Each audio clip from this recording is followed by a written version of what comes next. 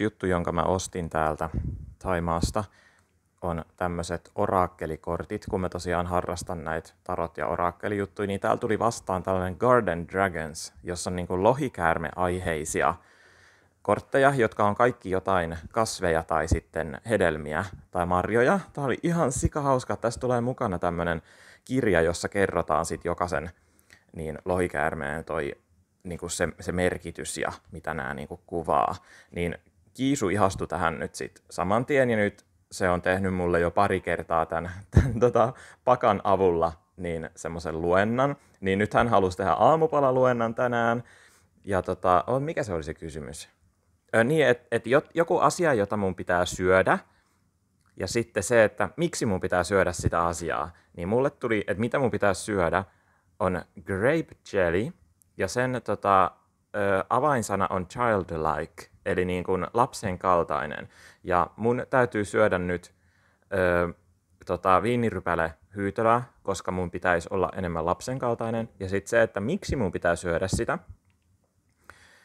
on, on tota defense, eli puol, puolustus. Ja nyt Kiisu sit tulkitsi tämän niin, että tämän, tämän kirjan avulla sellainen ihmetystä täynnä ja ö, kiinnittää huomiota semmoisiin yksinkertaisiin asioihin, mihin lapset kiinnittää. Tiedätkö, että jos jossain menee perhonen, niin nehän jo rupeaa jahtaamaan sitä. Tai tämmöisiä niin kuin hassuja asioita.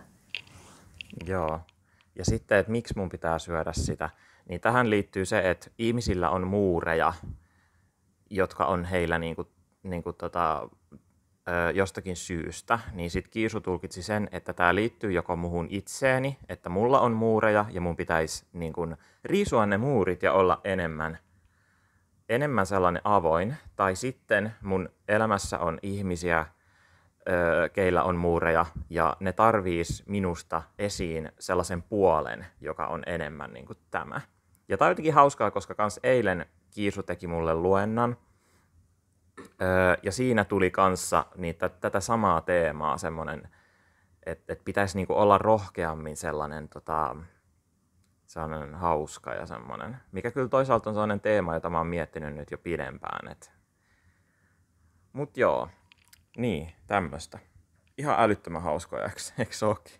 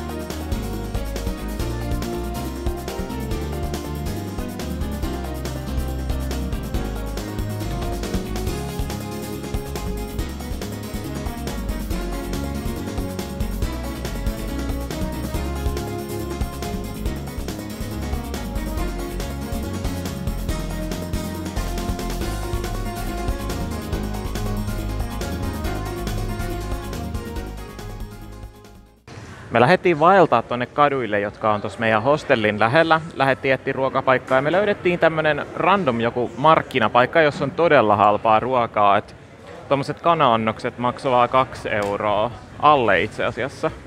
Eli tän näköistä ruokaa meillä on nyt tässä. Ja sitten ö, sieltä saa tätä bobaa, niin, eli tuommoista tee, tee-juttua, niin sai sitten tuosta viereisestä kioskista. Niin semmoista.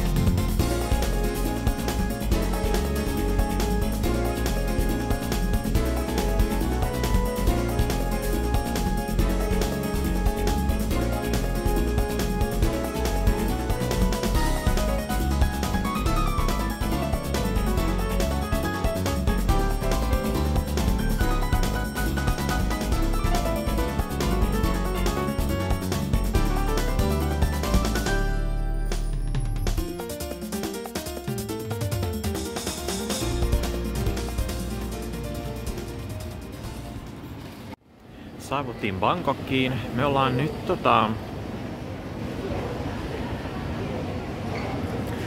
tämmöisessä äm, Gateway Ekkamai-nimisessä ostoskeskuksessa. Tos mun takana niin on tommonen markkina-alue. Kiisu nyt katos sinne. Öö, mulla on kaikki nämä matkatavarat messissä kiva roudaaminen, mutta mä lähden nyt ostaa kahvia, sit mä lähden etsiä, että missä kiisu on. Tiesitkö, että Taimaa on kahvimaa ja että täällä kasvatetaan kahvia? Mä en tiennyt, mutta täällä Gateway Ekkamai-nimisessä kauppakeskuksessa tuli vastaan tällainen joku siis ihan super hyper hifi kahvila, jossa on paljon erilaisia kahvilaatuja ja myös sen kahvin valmistustavan voi valita niin mä totta kai otin nyt tämmöstä taimaalaista Honey Katimor ja Bourbon kasvatettu Chiang Raissa Pohjois-Taimaassa ja mä valitsin tänne tämän valmistustavan. Tässä on siis myös tämmönen joku Siphon, joka on tämä. Mä en edes tiedä mikä se on. Sitten on pressopannu,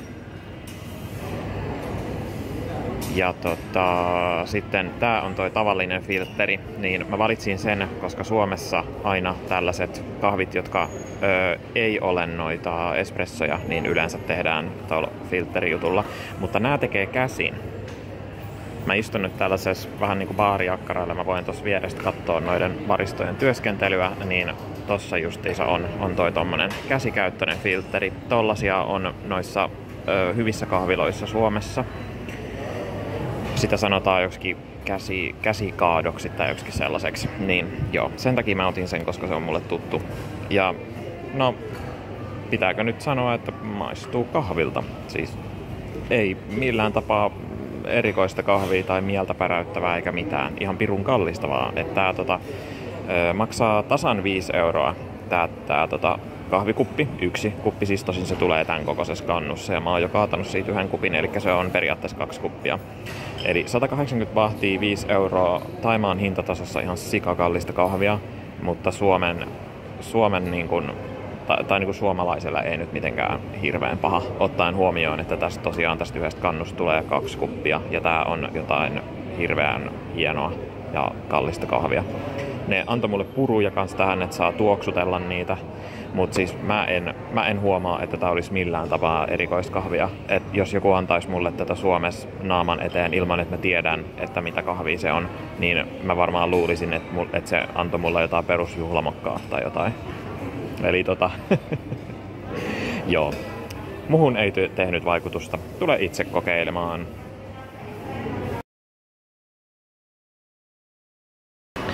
Mä löysin Bangkokista toisen kahvilan, josta saa taimaalaista kahvia, eli siis Taimaassa kasvatettua kahvia, tämmönen kuin Van Hart. Mulla on nyt joku niiden erikois tämmönen latte-drinkki tässä eessä.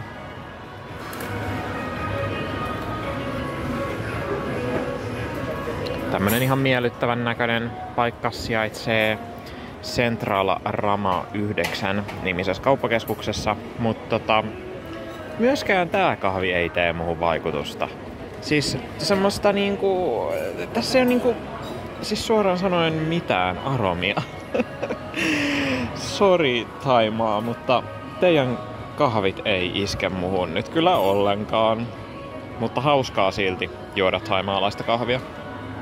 Se mikä on nyt erikoista tässä Van Hartin tässä niiden jossain Signature kahvidrinkissä on se, että tähän on poltettu jotain sellaista taimaalaista jälkiruokakynttilää. Mä en yhtään ymmärrä, että mitä se tarkoittaa, mut, mutta tuossa tota, juoman kuvauksessa oli semmoinen teksti, jossa luki, että, et, että tota Ancient Thai Dessert Candle tai jotain sellaista ja sit, sitten jotain siitä, että miten se kynttilän maku sit niinku sulautuu tähän kahviin. Ja siis tää maistuu vaan noelta. Siis maistuu niinku laimeelta kahvilta, jossa on nokea. Et tosi, tosi niinku erikoista. Mutta se on nyt näköjään näiden joku erikoisuus. En ymmärrä, mutta no, aina hauskaa maistella juttuja. No huh huh, tsiikatkaa. Kattokaa kuinka paljon täällä on tilaa verrattuna siihen meidän äskeiseen Pattajan hotelliin. Ja tää on siis about saman hintainen kuin se Pattaja. Kyllä niinku tuntuu Pattaja rupuselta tämän jälkeen. Tänään ohjelmassa mysteeriviinojen maistelu. Tämmöstä löytyi tuolta paikallisesta supermarketista, ja tää ei anna yhtään minkälaista vihjettä, että mitä tää mahdollisesti voisi olla. Sieltä tuli tällaista Spritein näköistä juomaa, joka kans maistuu aika pitkälti Spriteilta, mutta tota, on pikkasen vähemmän sokerista. Creamy sparkling milky yogurt mixed with cutie strawberries.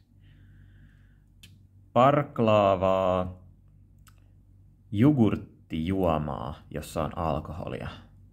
Nyt on erikoista. Se on tämmöistä haalean pinkkiä, öö, ei valkosta, eli tämmöistä vähän läpinäkyvää.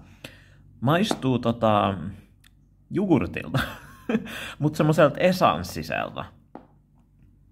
Ihan jees tämmöistä. Tota, menis kesällä Suomessakin kyllä tosi hyvin.